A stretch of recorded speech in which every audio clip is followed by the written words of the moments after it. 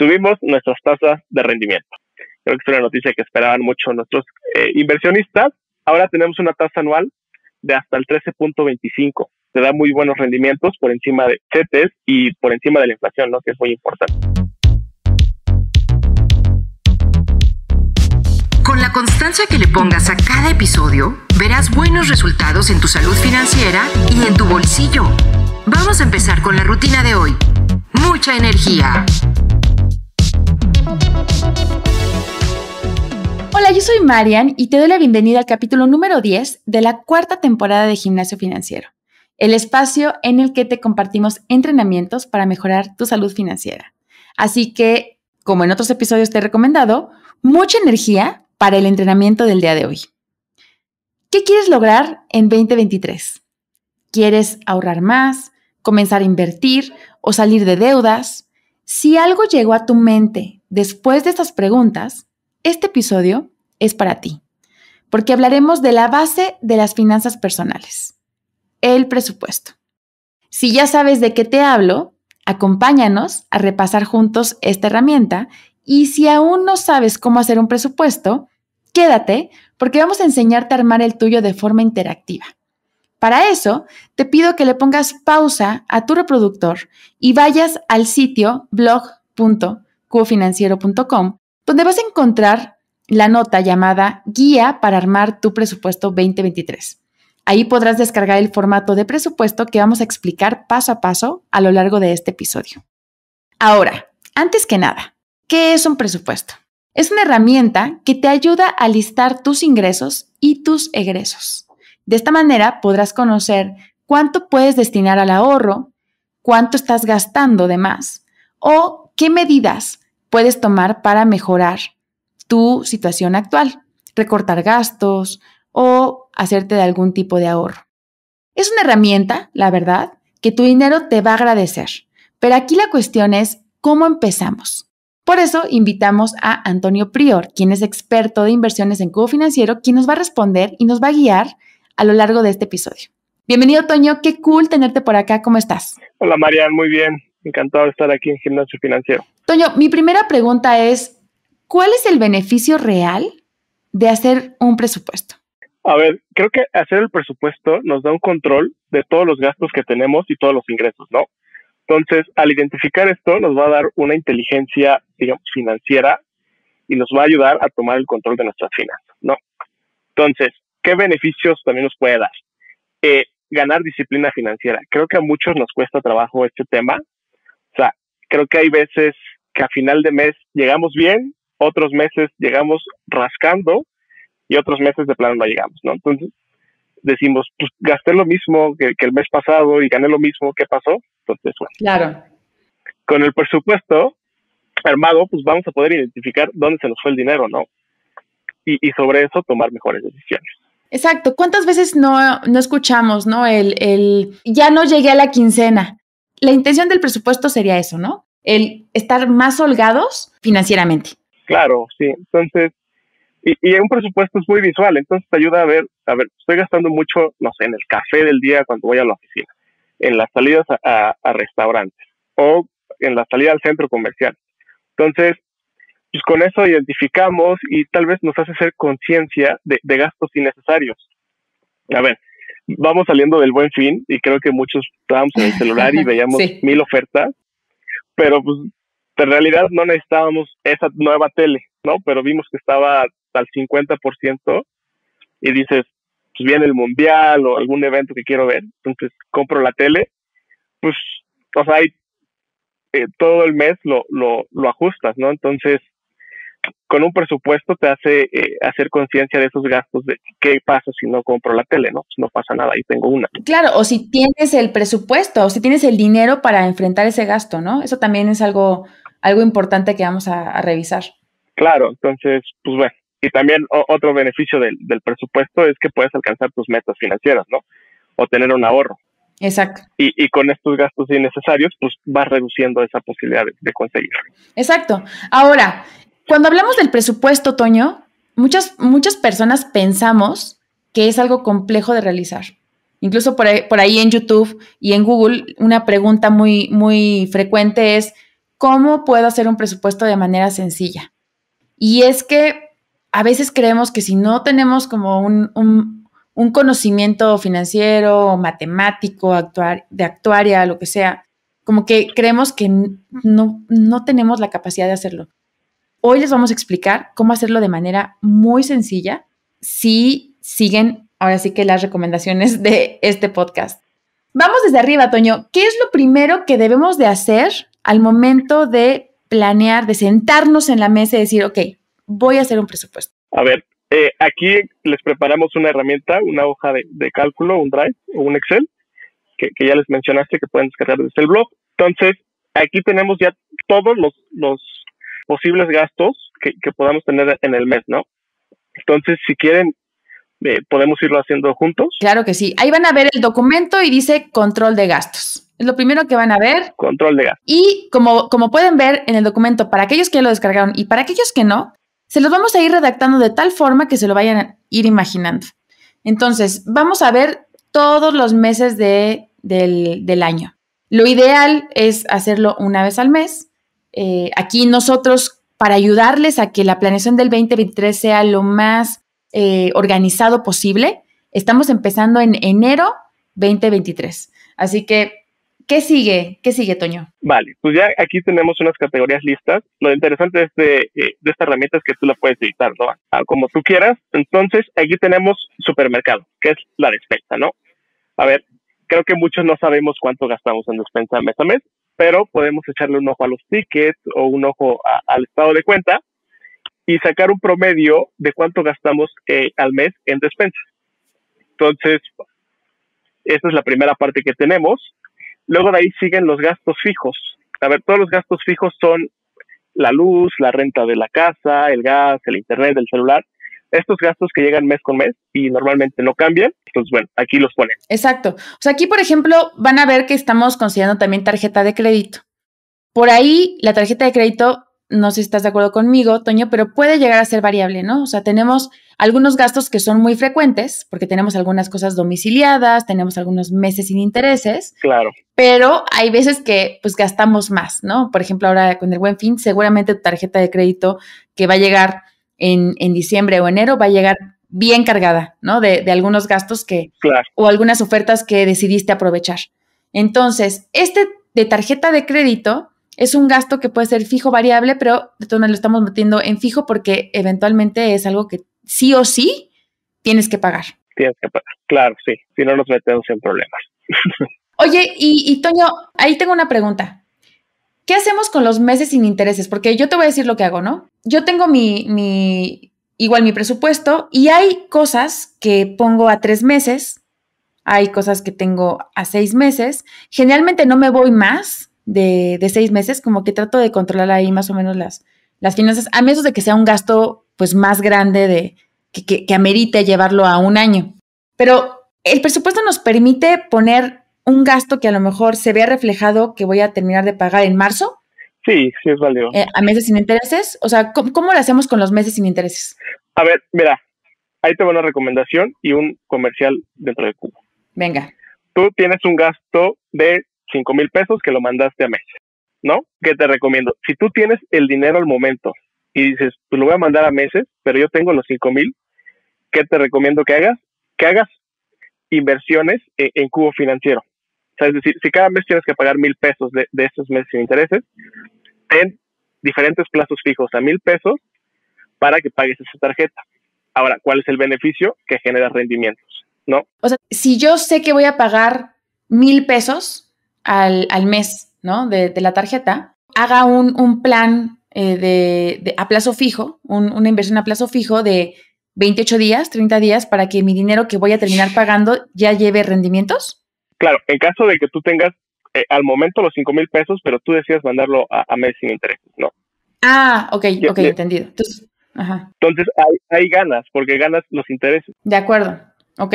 Porque aquí también, déjenme decirles, ¿no? Ya algunas personas que han venido con nosotros al, programa nos han dicho que tampoco tenemos que ver mal el meter los gastos a, tarjeta de crédito. Si lo sabemos usar, pues es una forma de financiarnos y de, como dice Toño, no, no, no agarrar tu dinero que tienes guardado y pagar algo completo, sino puedes tener tu dinero guardado, este sigue creciendo y vas pagando, haciendo paguitos con el financiamiento que ya te da tu tarjeta de crédito. Claro, sí. Si las tarjetas no son malas, solo hay que saberlas usar a, tu favor. Exacto. Bueno, entonces regresando al control de gastos, tenemos también una parte que es diversión. Entonces aquí ponemos vacaciones, espectáculos, que puede ser las idas al cine, al teatro y restaurantes. Entonces, si vemos vacaciones, pues normalmente nadie se va de vacaciones cada mes, ¿no? Entonces, no es un gasto que llegue cada mes. Eh, al cine, pues probablemente sí, o, o, irás al teatro, sea un gasto que, que lleve cada mes, y restaurantes. Entonces, de esta manera podemos ver si, por ejemplo, en restaurantes estamos gastando mucho. O sea, que vemos que al mes son 3.000, 2.500, entonces dices, hoy sí, es un, un, buen dinero, y más si lo ves anualizado, ¿no? Entonces, claro aquí es donde empiezas a tomar conciencia de, y si mejor me llevo comida de la casa, cocino en casa y evito salir tanto a comer fuera cuando vaya a la oficina o con los amigos, digo, tampoco se trata de quedarse en casa y no comer nunca fuera, pero hacer conciencia de estos gastos, ¿no? Que, que, podamos reducirlos. Y ponerte un número, ¿no? Porque ahorita este presupuesto, digamos que si lo vas a empezar, eh, vas a hacer como un histórico. ¿Cuánto gasté en noviembre? ¿Cuánto gasté en diciembre? Y después conforme vayas trabajando los siguientes meses, puedes decir, ok, voy a darme porque mi presupuesto me da, porque estoy viendo que hay alguna, algún tipo de, de holgadez, ¿no? Dentro del mismo, que, ok, me voy a asignar dos mil pesos a restaurantes al mes, pero yo ya me lo estoy asignando porque ya vi que puedo. Claro. Y, y, decir, ok, voy a hacer mis dos salidas, tres salidas, o me voy a hacer mi gran salida donde voy a, donde voy a gastar los dos mil pesos en un restaurante muy nice que le tengo ganas y ahí me lo voy a gastar. Y el resto del mes ya no voy a hacer ninguna salida porque ya me gasté mi presupuesto. Sí, sí, te cambia mucho a, tenerlo en la mente, que, exacto, siempre exacto. los cálculos pueden estar mal, a tenerlo ya plasmado en, una libreta o, en tu computadora, ¿no? Correcto. Entonces, bueno, de diversión, ¿no? Ya pensemos en, en, qué, ¿no? En qué vamos a gastar o, o, qué gastamos en diversión. ¿Qué más sigue, Toño? No, tenemos transporte a ver, tenemos el mantenimiento del auto. Para los que eh, tenemos auto, pues bueno, el mantenimiento tampoco es mes con mes, pero puede llegar cada trimestre. El combustible, cuánto nos gastamos a la semana o al mes eh, en ir al trabajo o en recoger a los niños en la escuela. Y para los que también usamos transporte público, pues cuánto nos gastamos, ¿no? Correcto. Pues aquí puede ser un quizá un, gasto variable en temas de combustible, de cuánto salía en el mes, cuánto no, y eh, en el tema del transporte público. No, y sobre todo con el aumento de los precios, ¿no? Ah, Ahora sí que cada mes ese numerito va a ir subiendo un poco porque pues sí, la gasolina va subiendo bastante. Va subiendo. Ok. Luego tenemos otra parte que es salud y aquí metimos, el gimnasio, ¿no? Entonces la mensualidad del gimnasio, pues un ejemplo que pusimos y también para hacer conciencia. A ver, creo que muchos ahorita en el buen fin o para principios de año vamos a ver mil promociones de, del gimnasio de paga todo el año y te hacemos un súper descuento. Bueno, Ser, ser conscientes, a ver, yo soy disciplinado en el tema del ejercicio y voy a ir todos los meses, si sí, pues me conviene, pero si sabemos que no, que es mi caso, pues no pagamos esa, eh, eh, eh, esa super promoción, ¿no? Porque al final, pues no vamos a ir, vamos a ir un mes y, vamos a acabar pagando todo el año, ¿no? Pero, pero es el negocio de los gimnasios. Claro, hay que ser inteligentes y no caer ahí. Ahora, lo importante del documento, aquellos que lo están viendo con nosotros, es que es editable. Entonces, los, digamos que las categorías que nosotros le estamos compartiendo son opcionales. En salud, seguramente habrá gente, ¿no? Como por ejemplo yo, ¿no? Que, tengo alergias. Entonces, cada mes me tengo que poner una inyección para este, controlar mi alergia y, y es, ¿no? Mil pesos. Entonces, ahí lo vamos agregando. No, que yo constantemente pues tengo que este, no sé, incluso terapias, ¿no? Terapia física, terapia mental, o sea, creo que ahí podemos meterlo para saber cuánto estamos gastando. Ojo, ahí no les decimos que, hay que escatimar, o sea, creo que la salud es bien importante, pero también hay que, hay que tener en claro cuánto estamos gastando.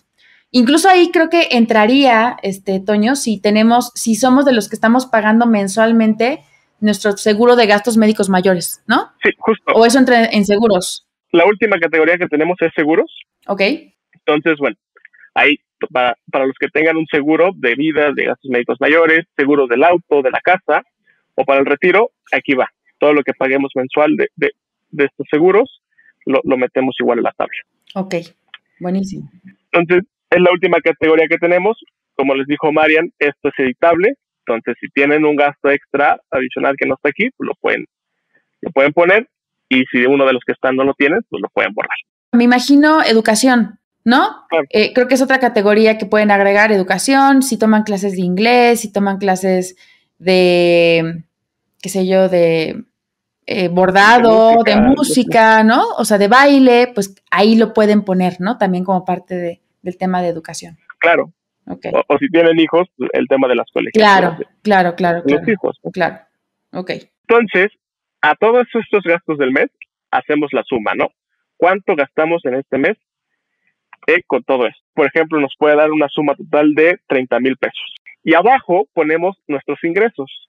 Ahora, nuestros ingresos pueden ser fijos, o sea, si somos, como dijo Mariana, de las pláticas godines, normalmente es un ingreso eh, fijo, pero otros tienen ingresos variables, ¿no? Que puede ser por, por comisiones, bonos o, por freelance, ¿no? Entonces, para esas personas yo les recomiendo hacer un promedio de cuánto ganan al mes, o sea, porque sabemos que es un ingreso variable, sacamos el promedio. De todo lo que gastamos en el mes, que es la suma de lo que vimos, ponemos todo lo que ganamos en el mes y ahí, vemos la diferencia, ¿no? Si nos sobró dinero o si nos faltó o quedamos pagos.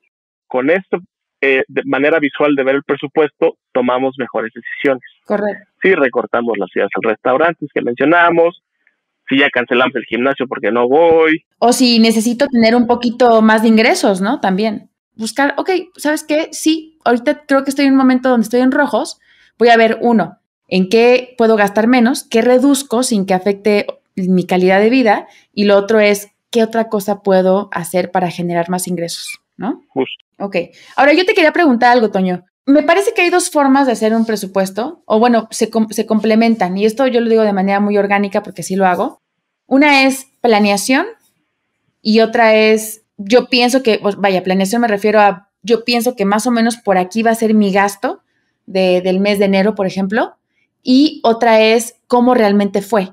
Entonces, ¿Es bueno cotejarlos? Ahí tú cómo lo visualizas. O sea, al final es, yo planteaba esto, pero ¿qué crees? De comida me gasté menos, no, no, no salí menos, entonces fueron mil pesos en vez de mil quinientos. O sea, el hacer el cierre del mes, ¿cómo realmente me fue? Sí, mira, a ver, puede, pueden pasar muchas cosas, ¿no?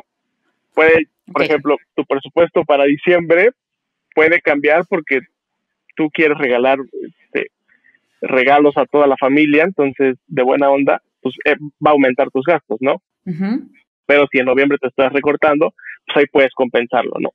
Ahora, lo que yo recomiendo es que si en el mes no te gastaste los 2.500 que tenías para el restaurante, pues en lugar de gastarlo en otra, en otra cosa, yo te recomiendo que lo, que lo inviertas, ¿no? O sea, tampoco se trata de gastar por gastar, es invertir tu dinero, todo, todo este excedente que puedas tener.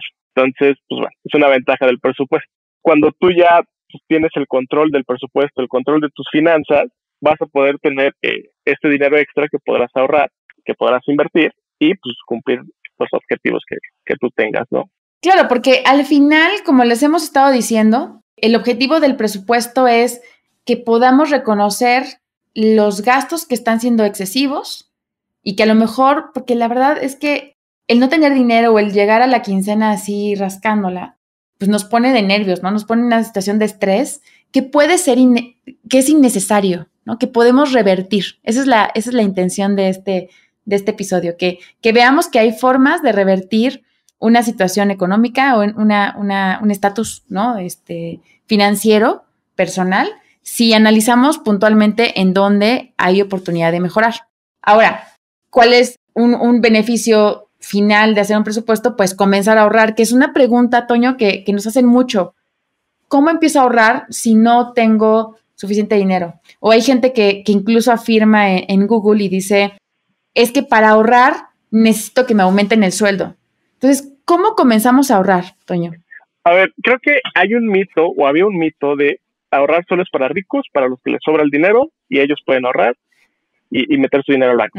A ver, ahora hay instituciones, por ejemplo, como Cubo, que te permite hacer inversiones desde 50 pesos, ¿no? Entonces, es un monto pues, muy accesible para todos. Entonces, pretextos creo que ya no puede haber poco a poco podemos empezar a ahorrar en estas plataformas como los Cubo, o incluso si quieren invertir en bolsa, en GBM, ya también los montos son muy accesibles, ya no es como antes que pedían los millones, ¿no? Entonces, okay. pretextos creo que ya no puede haber. Sí, comenzar a ahorrar desde 50, ¿no? 50 pesos y ya es, ¿no? Sí, o sea, no tienes que empezar con los miles, 50 poco a poco vas ahorrando y cuando menos te lo esperas tienes ya un buen dinero eh, eh, en tu cuenta. Exacto. Ahora, Toño, tú tienes una noticia especial para el episodio de hoy. Cuéntanos. Claro, a ver, les platico. Subimos nuestras tasas de rendimiento. Creo que es una noticia que esperaban mucho nuestros eh, inversionistas. Ahora tenemos una tasa anual de hasta el 13.25. Entonces, está muy buena, que es, una tasa muy competitiva. Eh, te da muy buenos rendimientos por encima de, de CETES y por encima de la inflación, ¿no? que es muy importante.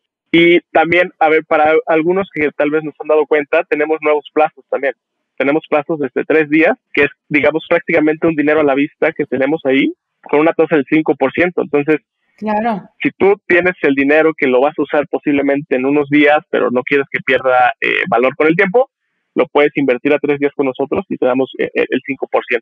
Entonces, es muy bueno. Y tenemos una tasa de 541 días o, o hasta más, que es la tasa del 13.25.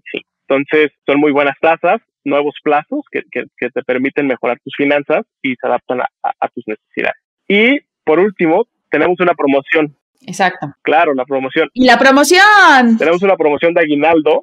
Eh, entonces, ¿en qué consiste la promoción? En depositar e invertir de 30 mil a 49 mil pesos a 90 días y te damos eh, una tarjeta para que puedas hacer compras en líneas en esta tienda muy famosa, la que es de un río, por 300 pesos. Y si inviertes más de 50 mil pesos a 90 días, te damos 500 pesos eh, en la misma tienda en línea para que puedas comprar todos los regalos de, Navidad que tengas. Bueno, pues me parece, Toño, que, que ya reunimos la información básica para hacer un, un, presupuesto. ¿Hay algo más que quieras agregar? No, los invito a que hagan este ejercicio del presupuesto. Les va a ayudar muchísimo. A ver, lo difícil no es hacerlo. O sea, si lo ven, es muy fácil llenar todos los campos. Lo difícil es llevarlo a cabo mes con mes, ¿no? Entonces, exacto, Se, requiere de mucha disciplina. Cualquier duda que tengan del documento o algo adicional de Cubo, me pueden escribir a antonio.prior arroba cubo financiero o a inversiones arroba cubo financiero.com. Muchísimas gracias, Toño. Vamos por un 2023 increíble. Así que terminamos el episodio del día de hoy. Te invito a que, como en otras ediciones, te unas a nuestra conversación a través de nuestro grupo de Facebook Gimnasio Financiero Podcast, que nos encuentras ahí. Y también recuerda enviarnos tus dudas sobre finanzas a nuestro mail gimnasio.cubofinanciero.com para responderlas en los siguientes episodios. Y te pedimos que estés pendiente de nuestras redes sociales porque se viene el evento de Cubo Financiero. Se llama Cubo Fest que es un festival que vamos a llevar a cabo de manera online, donde contaremos con cinco personas expertas en tema de finanzas que nos van a dar cinco webinars completamente gratuitos para que te prepares para el cierre de este año y para que el 2023 sea mucho mejor que este. Hablaremos de ahorro para principiantes, de inversión con y sin riesgo, de cómo multiplicar tu aguinaldo. Son cinco temas súper interesantes que te recomiendo que te registres. Próximamente estará la convocatoria. Esto se va a llevar a cabo del 5 al 9 de diciembre. Te recuerdo, se llama QoFest 2022 y ahí te esperamos. Si te gustó la rutina del día de hoy, por favor compártela, que más personas aprendan a hacer su presupuesto. Como siempre, yo soy Marian. Muchas gracias por haber entrenado el día de hoy conmigo y te veo en el siguiente episodio. Bye bye. Llegamos al final del entrenamiento de hoy. Repite esta rutina para mejorar tus resultados. Para ser miembro del gimnasio, suscríbete ahora. Si quieres más intensidad, regístrate a nuestra comunidad de entrenamiento en Facebook, gimnasio.financiero podcast. Y si quieres tener membresía VIP y comenzar a invertir con mejores rendimientos, súmate a nuestro grupo de inversión Gimnasio.financiero Podcast. Pide tu pase de acceso en recepción con gimnasio.cubofinanciero.com.